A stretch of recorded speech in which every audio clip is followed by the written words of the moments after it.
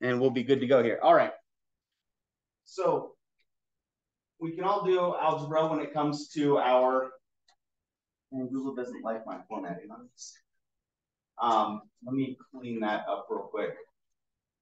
I really don't want to have to start using Google Slides to make my slides because Google Slides is awful. Uh,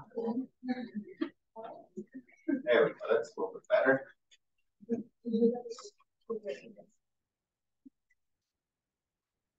Right. So as, as mentioned, temperature change is pretty straightforward when it comes to Q, right? Anytime you've got something changing temperature, it's really easy. As long as you know the specific heat, it's pretty, pretty easy to figure out how much energy is going into that system or is leaving that system.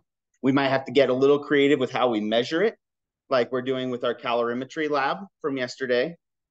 But the actual math is not all that tricky, right? Um, so let's add a new wrinkle to it.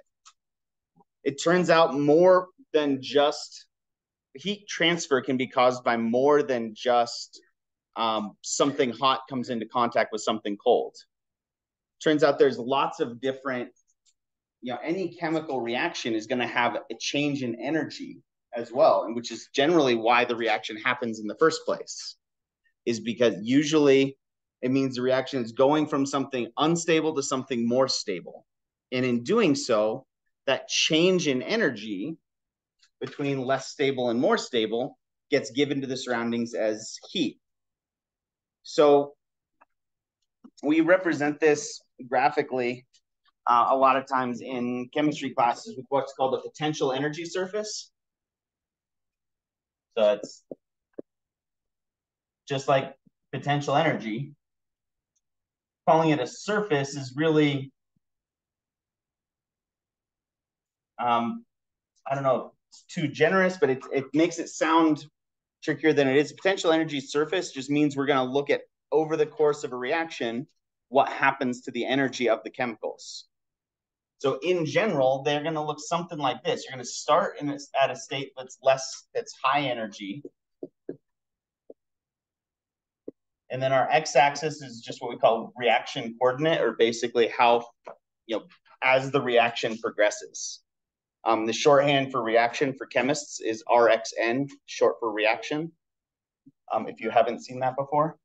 But typically what's going to happen is you're going to go from a high energy state, you have to go through some barrier, and then you wind up at a lower energy state than where you started. And the difference in energy between those two states, well, that energy has to go somewhere, right? That's the energy that causes a temperature change in the surroundings. So if, if it's drawn the way I have it drawn here, where you start at high energy from the point of view of the reaction of the um, chemicals, and you end at lower energy,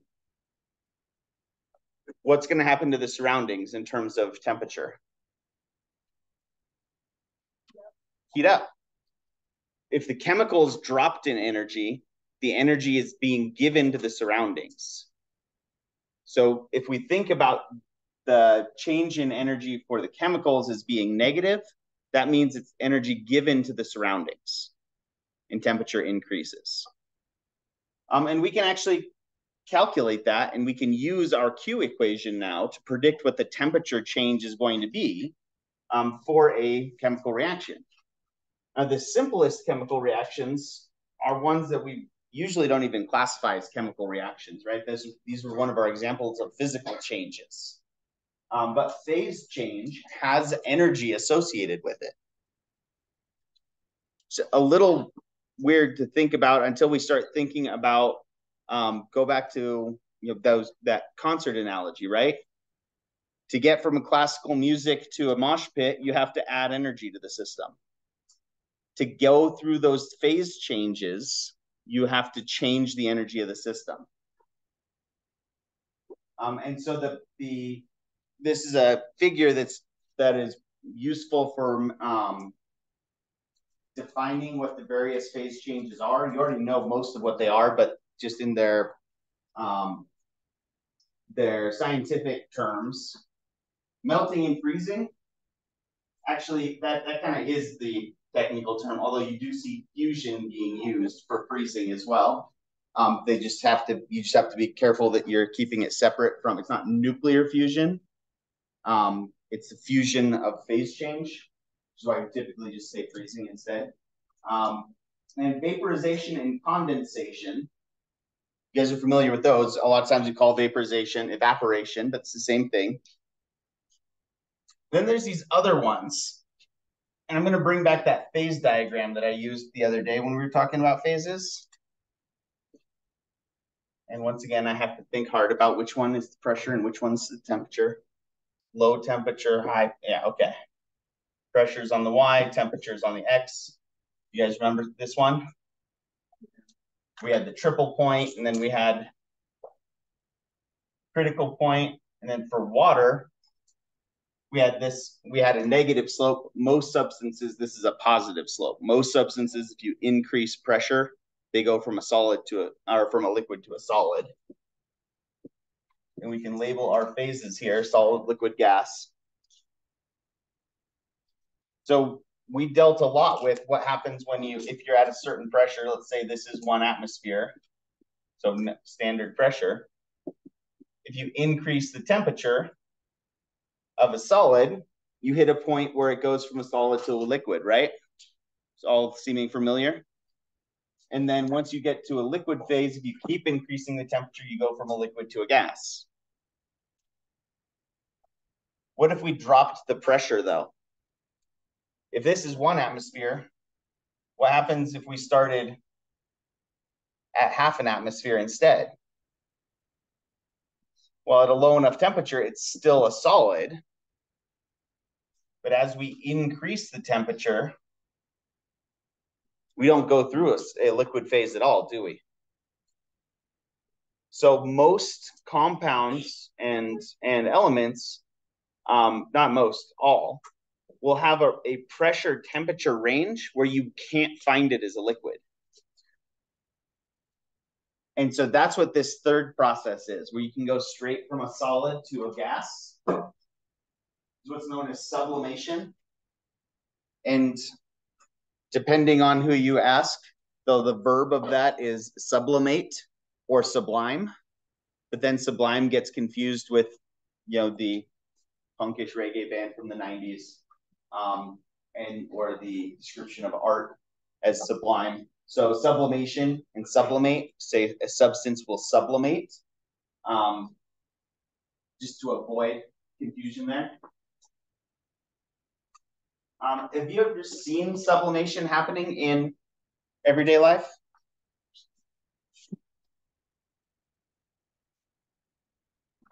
You have, you might not know it, but you live up here in the mountains. Frost is the opposite of sublimation. That's which we call deposition. But have you ever seen um, ice disappear from your driveway despite never getting above freezing? On a day that it never gets above freezing, wind up with less ice at the end of the day than you had at the beginning of the day? Yeah, that's sublimation. Um, or if you've ever taken a, a um, ice cube tray if you leave it in the freezer for a really really long time like i don't know if you have like one of those the you know the funny shaped ones that you hardly ever use they sit in your in your freezer at home forever. Maybe that's just at my house. Um, but then eventually you go and you get them and they've like shrunk inside the ice cube tray. That's sublimation as well. Right? They're not like that when you first put them in there. You have to wait for it to to sublimate for a bit. Yeah Freeze drying is a two step process, so I'd have to look at it more carefully. Um, but it's it's similar. Freeze drying, you remove the water, and I don't know if you remove if you can remove it by if they remove it by sublimation or other means. Probably sublimation though. Um, you can do some funny things with phase change if you manipulate where you start and where you end on this graph, right? So, for instance, um, dry ice sublimates, it doesn't evaporate because CO2, the triple point for CO2 is at like four atmospheres. So, at one atmosphere, you can't get liquid CO2.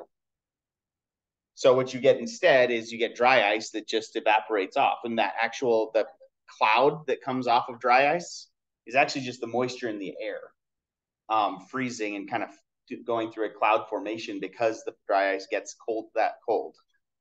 Um, and interestingly enough, do you know how, how they make dry ice? You make dry ice pretty much, it's pretty easy. Um, for dry ice, you basically, you start with a sam sample of CO2 gas that's about here on, on the phase diagram, and you literally just increase the pressure. We make we make water ice by cooling it down, right? And letting it get cold. So that'd be a horizontal line, right? But if you change the pressure instead of the temperature, you get a vertical line. So literally, if you take CO2 and you put it into a container and you and then you just crush it um, down, you make dry ice. We actually used to do this in the lab that because we didn't use dry ice all that much. They had this like it's kind of like a piston that you could hook up to a um, to a CO2 tank, and then but the piston was on a screw on like a vise, and so you literally just filled up this this container with CO2 and you spun the vise until it crushed the piston down and you made you know a little cake of dry ice. Um, really, really low tech, but you have to know how this works to get there, right? Turns out engineers and scientists can be can be rather clever if you give them if you give them a reason to be. Um, all right. So to go along with these phase changes, we also have an accompanying change in energy. Um, and a lot of times so they're represented. So it turns out there's there's lots of different kinds of energy, and so without getting into the um, the specific derivations of what makes it free energy versus enthalpy versus entropy, um, which we'll get to some of that eventually. But for now, just know that delta H, that H is an energy term um, that's that stands for enthalpy. I'll write that up there because it's kind of a weird word.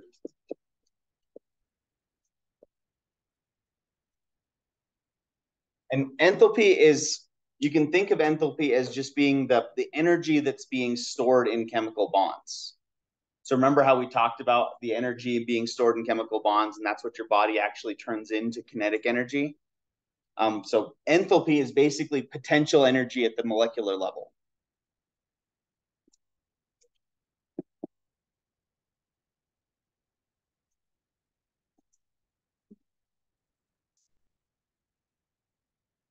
And we're not going to spend too much time with it at this point, or the difference between delta H versus delta E versus delta G or delta S. There's lots of different types of energy depending on what your conditions are but typically we look at, at reactions in terms of enthalpy change.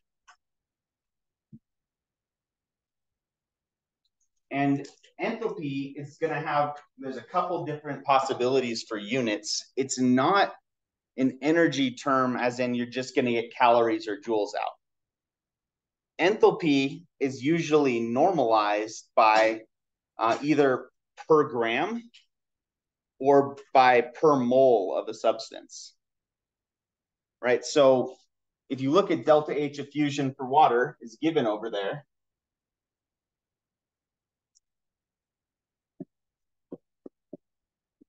So delta H of fusion for water is 334 joules per gram. that's kind of an interesting unit. We like per units, right? Because we know how to use those like mm-hmm. conversions, right? So what does this really tell us about water freezing? Gives us how much and a way to figure out how much energy that's going to take. If you have 20 grams of water freezing and every gram has this change in energy, we can figure out how much energy it's going to take or how much energy is given off. Um, but let's talk about the sign of that first. So if you start with liquid water, actually, so let's let's do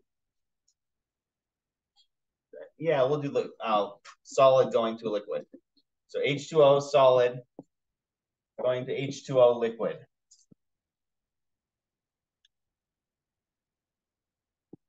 Are we putting energy into the system or taking energy out of the system?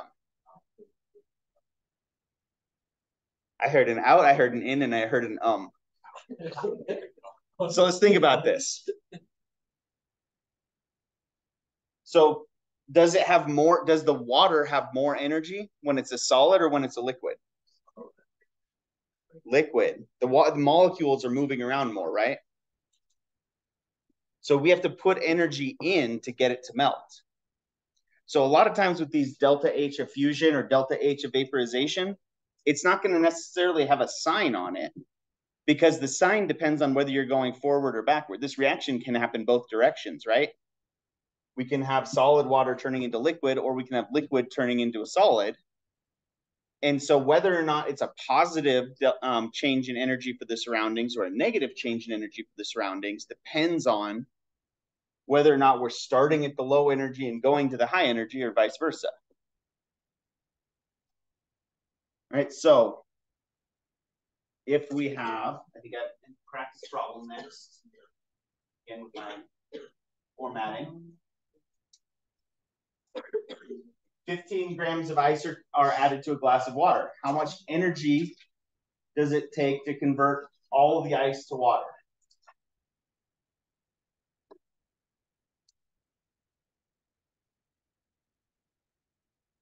Well, if you're used to using density as a conversion or speed as a conversion, this is a really this is a one-step conversion, right? This is one of there's there's a lot of really really simple equations in in chemistry where you could memorize all the different various equations. Like there's an equation that says um, Q for the system equals delta H times the mass or something like that. And you could memorize that, all those various equations, or just pay attention to your units here and do everything like it's a conversion. So 15.0 grams of, of ice for every one gram of ice. That's 334 joules absorbed. A lot of times what we're going to do to keep track of the sign on, on energy problems is we're going to use qualitative language to keep track of what's gaining energy and what's losing energy. So the ice is absorbing 334 joules per gram. So it winds up being, let's see, 5,000? Is that right? 5,000 what? 5,010.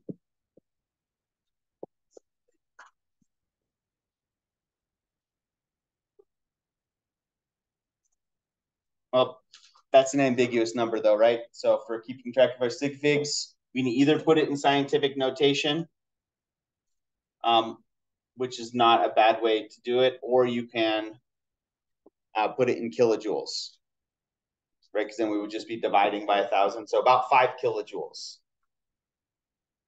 But since the next the next problem has us doing a temperature change equation, and all of those we've been doing in joules, right? Not kilojoules really. So even though normally um, this would be really easy to put in kilojoules and not worry about scientific notation, since we're going to turn around and use it as joules again, we might as well keep it in joules.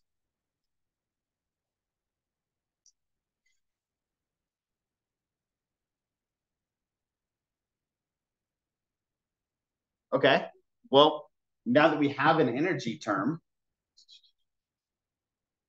we know we can do some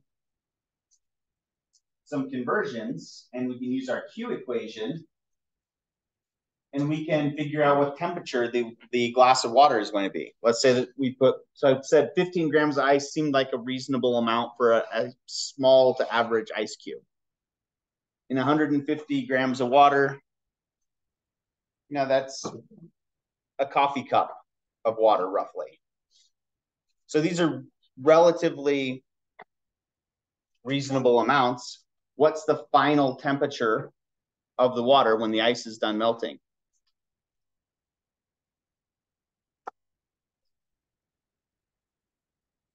Well, we have an energy term, right? We have an initial temperature for the water.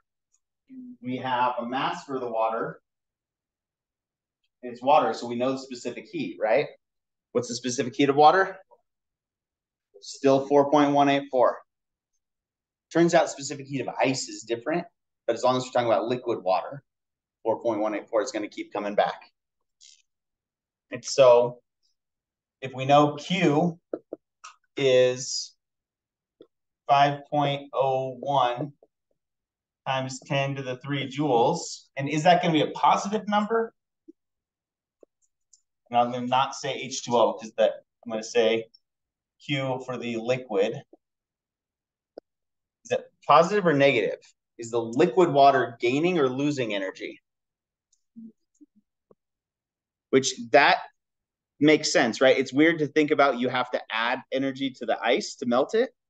But the idea that when you put ice in water and it melts, your water gets colder, we're used to that, right?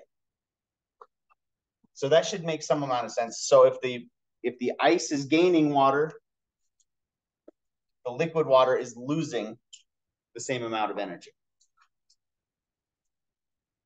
So we've got Q, we've got CP,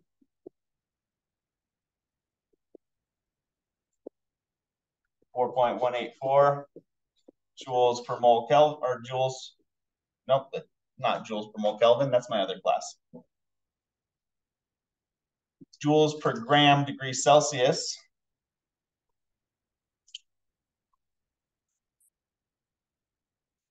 What else do we have from our Q equation?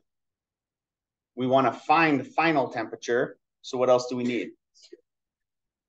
We need initial temperature, which is currently written as, as Fahrenheit, just to give us more practice converting Fahrenheit and Celsius. But that's annoying. It's good practice. What else are we going to need? One last piece. Final temperature is what we're looking for. Who said it? Mass of water. Mass of the liquid water specifically, which was 150 grams.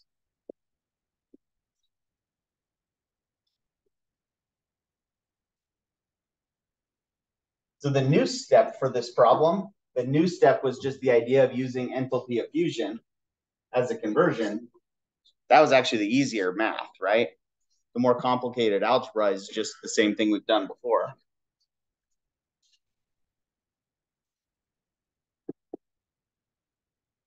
We're going to want Fahrenheit into Celsius, but that's not too hard as long as we watch our sig figs, right? 60.0 Fahrenheit equals 9 fifths TC plus 32. Remember that those are both exact numbers. So we're going to wind up with 28.0 when we subtract the 32. And then dividing by 9 fifths is the same as multiplying by 5 ninths, right?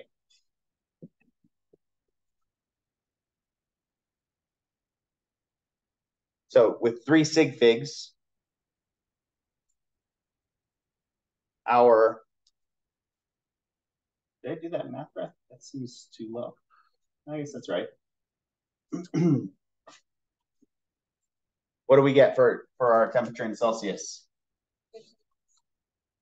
Say a little louder. 15.6. That does sound reasonable now. Just looking at the math made it seem like it, it's going to be too small. so now we have all of our variables all in the right units.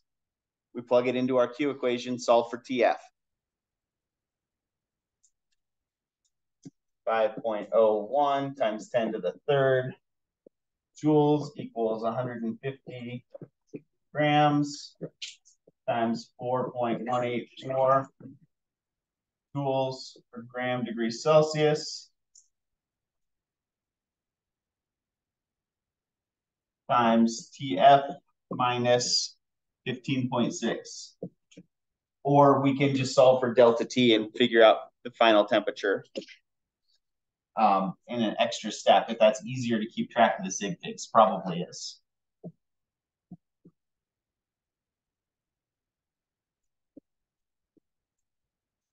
Definitely easier to plug into the calculator. 5,010 divided by 150 is going to give 33.4 times 4. So we're going to get something like 100. No, can't be right. Oh, divided by 4. 23. 26.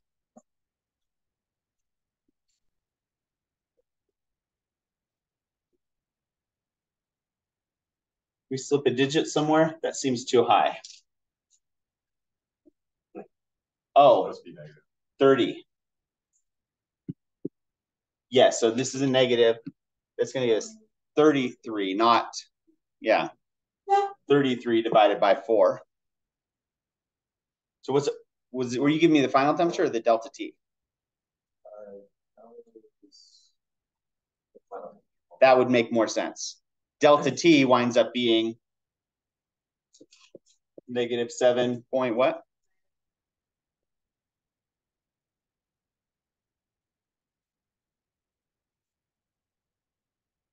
And it's remember that it's a negative. Keeping track of the negative with these, it's relatively straightforward as long as you always go back to does that make sense? I put a piece of ice in cold in room temperature water.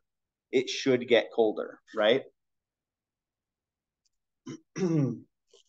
so wind up with our TF is 15.6 minus 8.0 so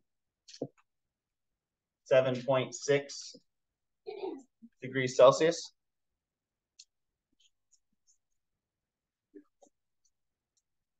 And remember, because our initial temperature only has the uncertainty in the tenths place, when we, even though we got to keep three sig figs on our delta T, when we do the subtraction, we're going to wind up rounding to the tenths place. So we wind up with 7.6 Celsius. Does that sound reasonable for one cube of ice in room temperature water? That, that doesn't, maybe a little bit surprising that it's that effective, frankly, but for one gram of ice or one cube of ice that is a tenth the size of the water, but it's not out of the realm of possibility.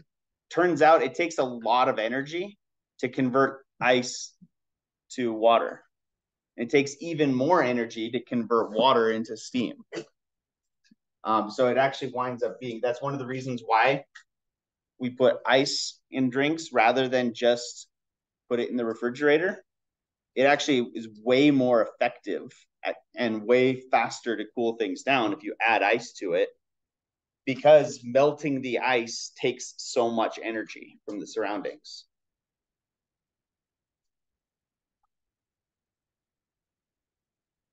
Plus, there's one interesting fact about phase change. When a substance is going through a phase change,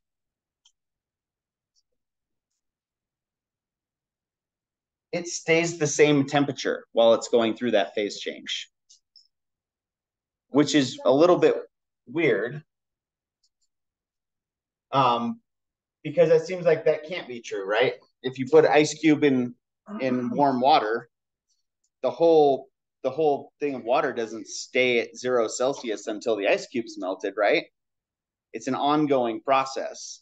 But for the sake of of being able to do the math, we can basically say all of the ice, all of the water that was the ice cube, all stays the same temperature as long as the ice cube is melting.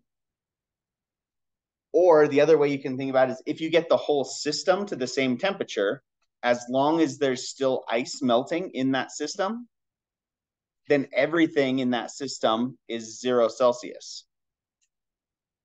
So if, if you've ever wondered why why restaurants fill up um, cups the way they do with their ice, like they're not just trying to short you on the soda. They don't want to short you on the soda because soda's cheap, right? They're doing that because as long as there's still ice in your cup, it's the same temperature. It's a nice, pleasant zero degrees Celsius. So it makes it really easy for servers that don't don't want to have to keep coming back or get complaints about that my soda's getting warm or anything like that. They just fill it all up with ice, and as long as there's still ice there, you're good to go, which is kind of cool. Um, the way we represent that is what with what's called a cooling curve. And so a cooling curve basically plots the temperature of a system versus the amount of energy in or out. Um, so sometimes you see heating curves or cooling curves that referring to are you adding energy in or taking energy out? It's the same thing, but in opposite direction, right? If you start with steam at, say it's 125 Celsius, and you start cooling it down, if you start pulling energy out of it, it goes down at a constant rate until you hit a phase change. When the water starts condensing, it'll stay at the same temperature until all of it's condensed. And then once all the water is condensed and you keep taking energy out, temperature starts decreasing again until what? Until we hit the next phase change. Until we hit the point where it starts freezing. So this is 100. This would be zero Celsius. And once you hit zero Celsius, it all stays the same temperature again until all of it has frozen, at which point you can keep the temperature can go down. And at that point, if you were able to keep taking energy out of it, you could in theory keep going until you hit absolute zero. There's no more phase changes really, no more major phase changes as you get colder. so this is a useful tool mostly because it shows us where the phase changes are. And also because this allows us to sort of organize our thoughts when it comes to figuring out how much energy a specific change is going to take. If I asked you, if I said, okay, you've got a, a piece of ice at at zero Fahrenheit, call it call it negative 20 Celsius. How much energy does it take to turn that piece of ice into um, into liquid water at 20 Celsius. Well, there's three things that have to happen there. Yeah. You could not because you have to get the ice colder. Turns out all we can get samples really close to zero Kelvin these days. So the the the lowest boiling point known known to I mean to man, I guess. Um, lowest boiling point on the periodic table is hydrogen. Liquid hydrogen boils at two Kelvin. Um, liquid helium boils at about four Kelvin. You to get colder than that, you actually have to use a process called laser cooling, um, which is kind of like if you um, when you stand out in the sun you warm up because your body is absorbing sunlight, right? And then that turns that into extra extra vibrations in the molecules in your body or on your your clothes. Um, turns out if you shift the wavelength of light just below where something is supposed to absorb, it's kind of like slowing someone down on a swing. If somebody's swinging really hard back and forth, you can put more energy in to make them swing higher, right? If you time your pushes, right? But if you time your pushes a little differently, you can get them to slow down by kind of absorbing the energy from them when they come towards you instead of putting more energy in. Turns out we can tune the wavelengths on lasers to do that. So we can actually get samples down to like a tenth of a tenth of a Kelvin. Um, we can't really get past that. And ice won't get us there because we're starting from you know whatever the temperature of your your freezer is. Um, but so the reason that a a heating curve, though, it winds up being useful is because it, it does allow us to say, okay, here I'm going through a temperature change, so I have to use my Q equation. Here I'm going through a phase change, so I have to use my del find the delta H for that substance, for that phase transition. Right? And then, so if I said, okay, here's negative 20, and I'm trying to get to, I don't know, water at 40 degrees Celsius. To figure out how much energy that whole process takes, we have three steps. We have heat the ice up until it goes through a phase change. Then we have the phase change, and then we have heating up the liquid water. So these heating curves allow us to keep track of that so that we can answer these more complicated energy questions. Like if you have a residential freezer, it's about negative 23 Celsius. How much energy does it take to change the temperature of a 25 gram of ice from negative 23 Celsius to zero Celsius? And then we can figure out how much energy it takes to melt that ice once it reaches zero Celsius. And then how much energy does it take to go from zero to 21 Celsius, i.e. room temperature? That's this three-step process. Figure out where you start on the, your heating curve. You don't need to draw the heating curve every time, but it helps to, to label what you're going to do. What step are you trying to calculate? Because we have two different possibilities when something's changing temperature or going through a phase change, right? It's either going to use our Q equation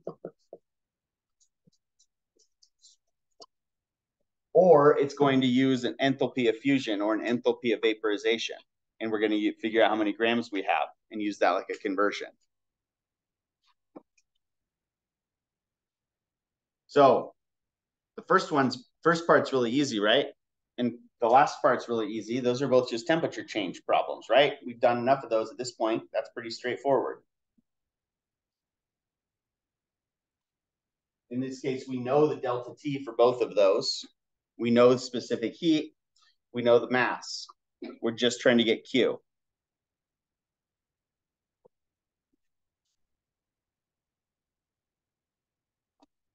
And so a lot of times we'll label the different different energy values as um, just sequentially. The first thing that happens is you take the cold ice and you get it to zero Celsius. So our Q1 is going to be 25 grams, different specific heat, like I mentioned, for ice, 2.11 joules per gram degree Celsius, times, what's our delta T? 23. Positive 23.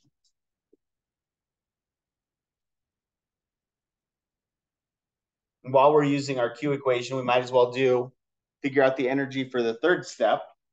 We replace these with the numbers that we're using for this problem. So it was minus 23 Celsius up to zero Celsius, and then from zero Celsius to 21.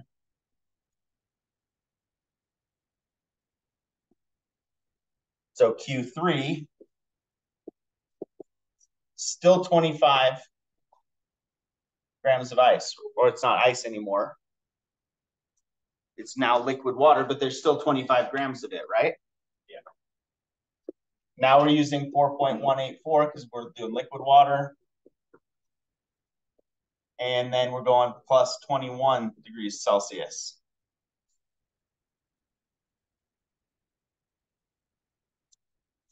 What do we get for a number for Q1?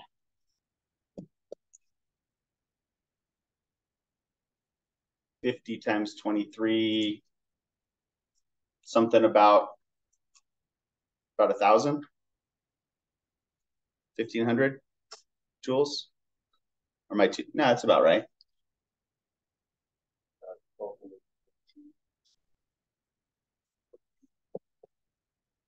How many sig figs do we get to keep? Just two, because of the 23 Celsius, right? if it said 23.0 to zero Celsius, we can we can assume that the zero Celsius we call that a, a um um, an exact number because that's the definition of zero Celsius, the point where water melts. But either way, we'll still only get to keep two sig figs, so call it 1.2 kilojoules. Because it was 1200, divide by 1,000 to get it in kilojoules, and then we don't have to do scientific notation.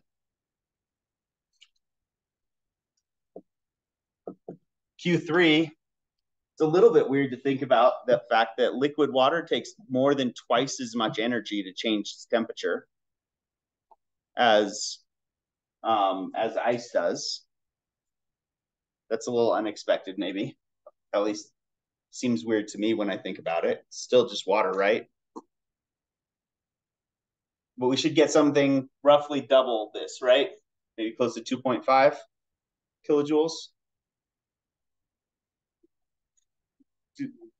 2000, 2.2? 2.2 kilojoules gets us from zero Celsius up to, to 21 Celsius room temperature. So what's our last step then? If we want to find, we're looking for the total energy to go all the way from negative 23 up to positive 21 add them together. we also have this second, this step two though, right? We didn't take into account that it has to melt as well. It's at zero Celsius, which means, and it's not changing temperature, which means we're not using this equation. We have to use that delta H of fusion. Which is three, 334 joules per gram.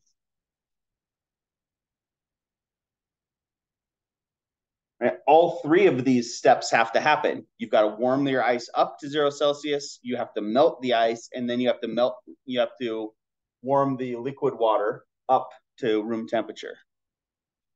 All right, so don't forget the, the second step here. So we can call it Q2, even though we're not going to use our, our Q equation. It's just going to be 25.0 grams and it's not on the board. I just rewrote it. In every one gram is 334 joules.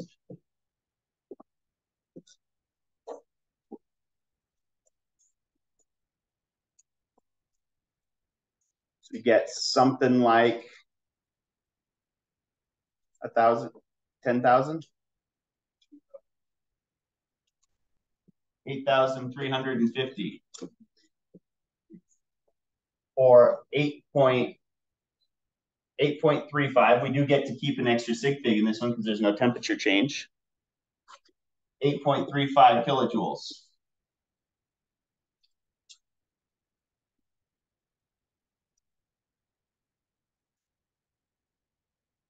So all three of our steps together, that's our Q total. Our total Q our total energy that we have to put into the ice or into that sample to get it all the way from negative 23 up to positive 21 is the sum of all three steps.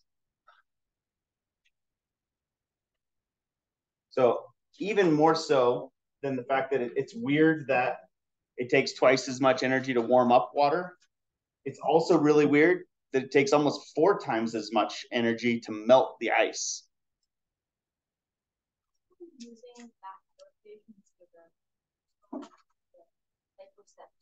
So for the phase for the phase changes, there is no temperature change. They stay at the same temperature. And so anytime you've got a reaction happening or a phase change happening, you're not looking at this because you're not changing the temperature of your water. You're it's you're just getting putting in energy just to get it to go through the phase change. It's weird that it stays at a constant temperature where it's going through the phase change. It takes getting used to. That's why this graph is kind of helpful because we can actually we can make this graph. We can take a sample. It's it's not the most thrilling lab. If you thought that the lab yesterday was kind of boring, heat up metal, watch change the temperature. Um, the lab where, where my Gen Chem students make a heating curve, they make this graph themselves. uh, is literally watching water boil. Right? They sit there and they watch the temperature and they say, oh, every 30 seconds they take, make a note of the temperature and then they put it into Excel. And they can wind up watching, okay, here it's raising in temperature and then it flattens out. There's where our phase change happens. Then it starts going up again. Oh, all of the ice must have melted. Um, and every substance does this.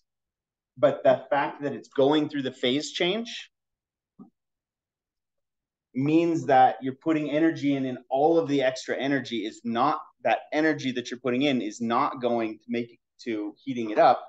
It's just going to melt the ice. Right? And this is the amount of energy you have to put in to get there. And the the enthalpy of vaporization for water is uh i want to say it's like five times bigger than that it takes a lot of energy to go through phase changes. So if I was drawing this to scale, the flat regions would be way longer than they are, or the slopes would have to be way steeper than they are.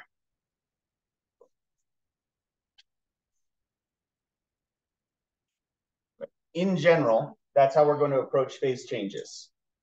You're going to need a delta H value for a phase change and depending on the units, it can be in joules per gram or it can be in joules per mole sometimes as well. Once we define what a mole is and how to use that, that would make more sense. That's where the number was. All right. Um, this is just more practice with the same problem, but we have another way of looking at it too.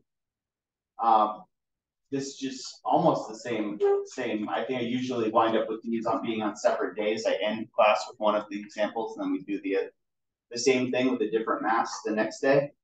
Um, so we won't go through that one right now because it's literally the exact same thing we just did. All right, so let's look at some phase diagrams. Um, a little bit hard to see these. You know, we'll just do this on the quiz. We'll just do that on the quiz rather than go through it now. Um, just because it's hard to make up the details, at least for my eyes. You guys can't read the scale very well, can you? In the back? Yeah. Are your eyes still sharp enough? No. You can read it okay? Okay. Um, so let's say at our elevation, water boils around 94 Celsius. A sample of ice at zero Celsius is heated until it melts and becomes steam at 94 Celsius. Which of these heating curves matches that description? Multiple choice questions, right? And if you're in a science class, you may have figured out how to take multiple choice tests. But remember, it's always about process of elimination, right? With a multiple choice test, especially something as qualitative as this, don't necessarily, you don't need to look for the right answer. Just eliminate the ones that are obviously wrong. It says it starts at zero Celsius and we're adding energy to it. So only graphs that start at zero Celsius should be, should we even consider, right? That eliminates two right off the bat, doesn't it?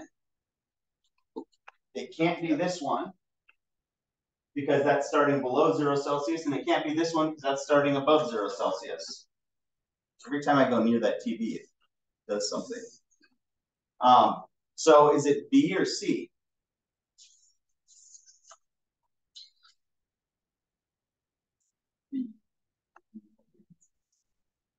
Why? Because it says steam at 94 Celsius.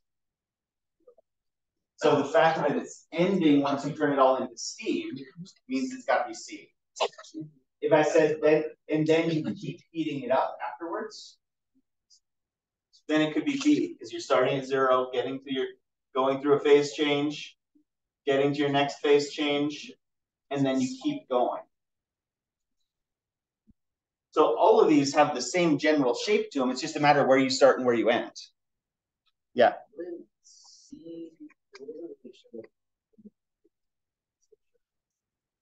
So it did not specify that C is um, all the way at the end. If we were doing this experimentally and we wanted to be sure that all of our liquid water had boiled off, we would wait until the temperature started to go up again. Yeah. Past that, and we cut it right there. Um, but the other option is going up all the way past 135 Celsius. Out of these choices, I would say C is the better choice. Okay. But again, if I ever write a multiple choice test uh, or a multiple choice problem and you need you think to justify your decision between your last two choices, you want to write a little note, I can give partial credit for that. That's the only way I can give partial credit for multiple choice tests, right? Is if if I know something about the thinking that went into it. Because if you just guess at stuff, I'm not going to give you partial credit for guessing. Show me you put some thought into it, and you can get partial or full credit if you explain it well enough. I mean, if you just get if you guess it right, then you guessed it right. Um, you get full credit. I'm not going to not give you credit on a multiple choice question. I also I barely ever write multiple choice questions because it feels so weird grading them. Um, giving people that may have guessed full credit when somebody who got 90% of the way there doesn't get full credit. Um, so I don't usually do those except on the quizzes just because they're really fast to grade on the quizzes. Um, all right. So questions about phase change in energy.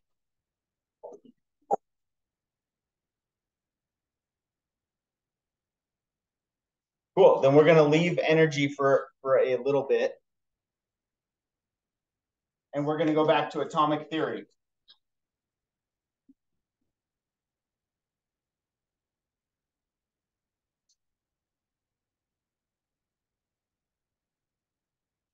All right. Does everybody remember atomic theory?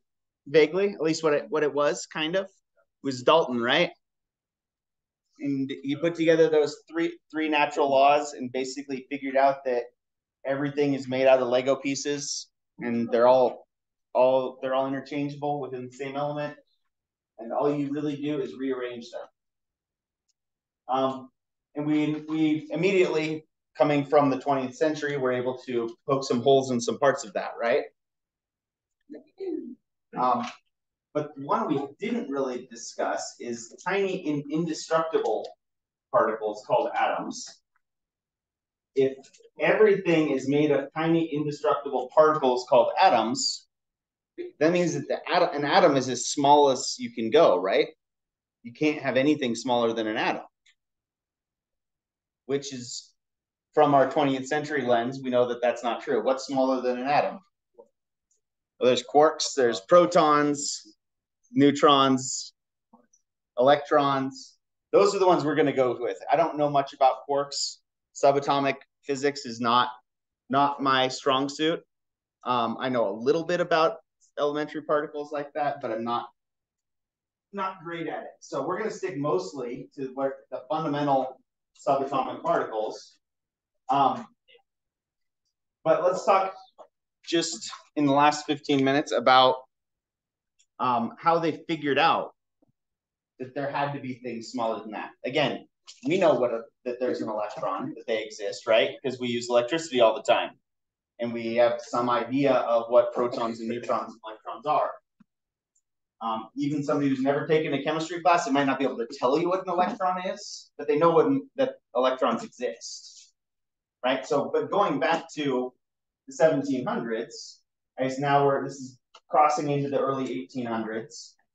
Um, this Thomson, I think, a guy named Thomson figured out that if you if you take all of the air out of a glass tube, make what's called a vacuum tube, and you put a piece of metal at each end, if you apply a voltage to those to those at the ends there, um, he found what he called cathode rays. And those cathode rays, they called them cathode rays because it looked like they came from the cathode of this system. Um, he said that they travel in straight lines, they have a negative charge, neither of which those weren't that groundbreaking. The groundbreaking part was at a mass that was about 2,000 times smaller than a hydrogen atom. Well, how can that be? Hydrogen's the very smallest element, and nothing is smaller than an atom, right? So this was the first time they poked holes in Dalton's theory. Dalton's theory lasted the way he wrote it as for I don't know maybe twenty years. Um, so I mean he's still still really made fundamental changes and really really brilliant guy, but not very long before ever the scientific community is like, well, but what about this? Um, I mean, scientists are famous for being the well, actually, types of of the world, right? Well, you didn't take this into account, um, and so Thomson figured out that these these cathode rays they had a mass and they were identical no matter what material was used. So his conclusion that he was able to come up with is atoms have smaller pieces. Right. And again, they keep going smaller and smaller these days. Now there's quarks, there's um, bosons versus fermions. And if you look at the universal model for, or sorry, the standard model um, of physics, you can look at the very, very smallest fundamental particles of all, all these different types. Um, we're going to stop at at the stuff that's immediately below atoms. Um, and this this caused a big stir for a couple of reasons. One, amended the atomic theory, but also, if these are negative, but atoms are neutral, what else must there be? There has to be something to balance out the charge, right? So this was so not only did Thomson discover electrons, he also provided the first evidence for protons. He didn't know it at the time. And so that led to what was called the plum pudding model. Um, the plum pudding model basically was the idea that if you've got these atoms and the, the electrons are sort of embedded in the atoms, but if you if you apply enough, enough voltage to it, you can get those electrons to fly out of the of that mass. Has anybody ever seen a plum pudding? I don't have a picture here right now. If you look up plum pudding, it's a British dessert, it, and I don't like cooked food, so it's it sounds disgusting to me, um, and it looks even worse. It's like it's not even pastry; it's like bread. It's like fruit cake. It's a fruit cake. They call it a pudding because because the British call anything that you have for dessert is a pudding. True, it doesn't make sense. Yeah, otherwise, it's not really a pudding. It's like a fruit cake. Um, and that might not be exactly true because they also have weird stuff like blood pudding and stuff like that too. It's definitely not a dessert. Um, again, if you live in Northern Europe and you start to starve as as the winter goes on, you come up with really creative ways to get protein, like um, not letting any bit of the animal go to waste. So you make plump, you make blood pudding. Um, they serve it as a it's a breakfast dish now. Sounds appetizing, right? Um, anyway, plum pudding models. Plum pudding model. Let's focus on the model. Get back. Um, because this is a really cool thing that happened. This is really science the way science is supposed to work. Um, a guy named Rutherford.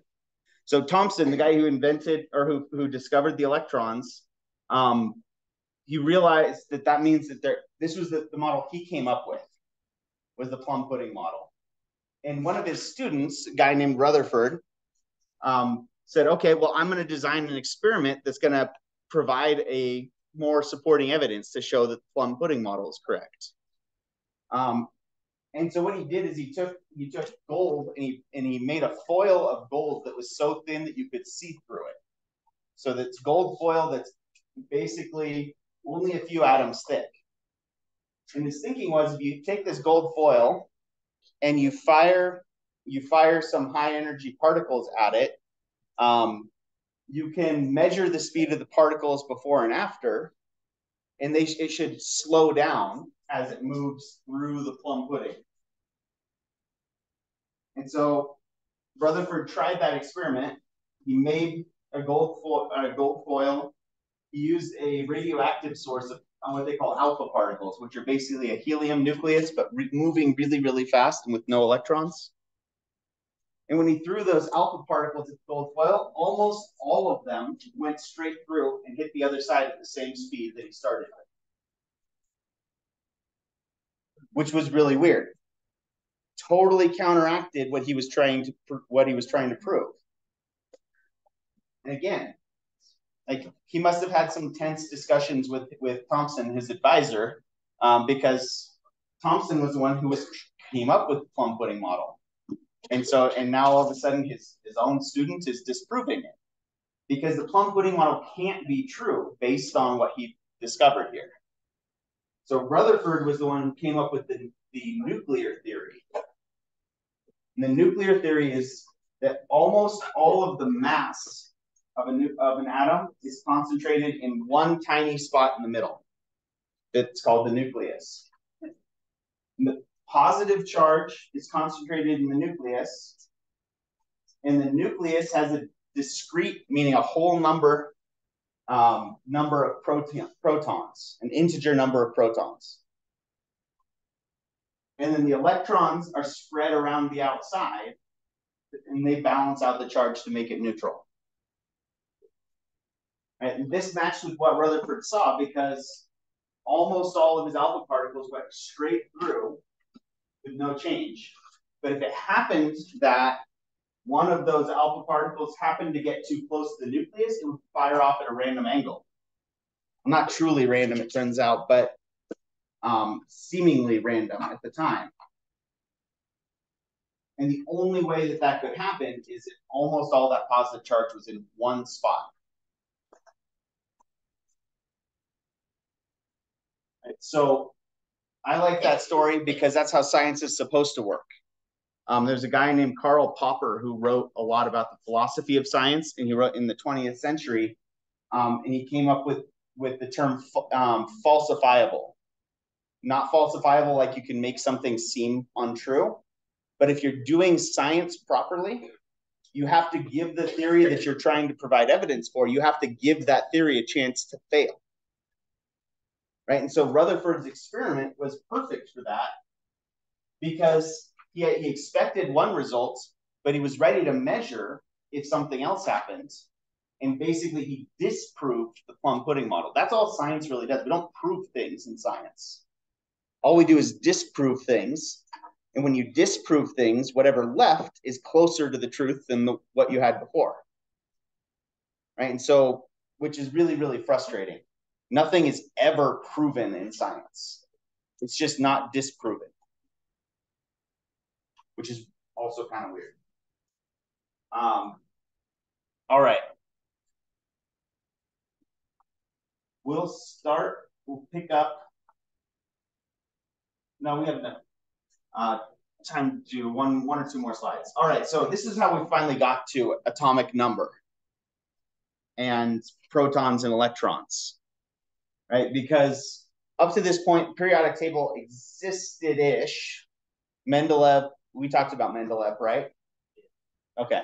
Um, the Russian one that nobody liked. Um, yeah, Mendeleev had figured out that if you put the periodic table, if you if you arrange the elements in order um, of, he said by mass.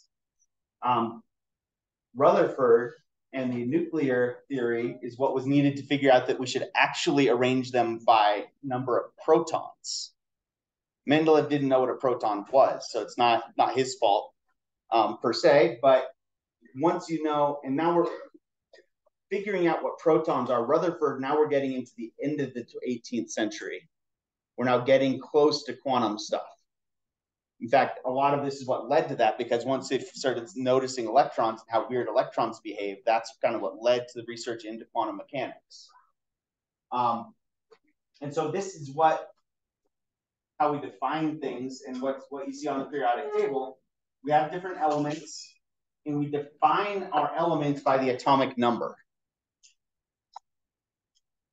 All right, so and the, the atomic number is the number of protons in the nucleus. That's the definition. That's how you tell one element from another. It's not the mass. It's not any other properties. It's how many protons are there. Um, these first three, the element name, the atomic number, and the atomic symbol are all more or less interchangeable if you have a periodic table with you. Because the element name and the atomic symbol symbol always mean exactly the same thing. We just write them di differently depending on whether we're writing something out or if we're trying to abbreviate it in a formula. Um, and the, but the element identity is defined by how many protons it has. Right, so let's um well, I'll put out an announcement for this as well, but this is going to be one of the very few things that I say, hey, trust me, you need to memorize this. Um, is going to be the atomic symbols and names, not like where they are on the periodic table, not, not like any of the numbers associated with them, just Cu equals copper, silver equals Ag. Right, so um, we'll do, let's say a week from Monday, we'll do a quiz. Um, closed book. We'll cover up the periodic table over there and the ones on your desks. I know. But this is the last time I'm going to take your periodic table away from you. After this, you always get your periodic table. Because it, it would take too long to communicate. It's like trying to talk to somebody if they have to look up every word in a translating dictionary. Right? So memorize it, get it down, and then I'm never going to take your, your periodic table away. Yeah, what do you do? Yeah. Pictures and the Excel sheets.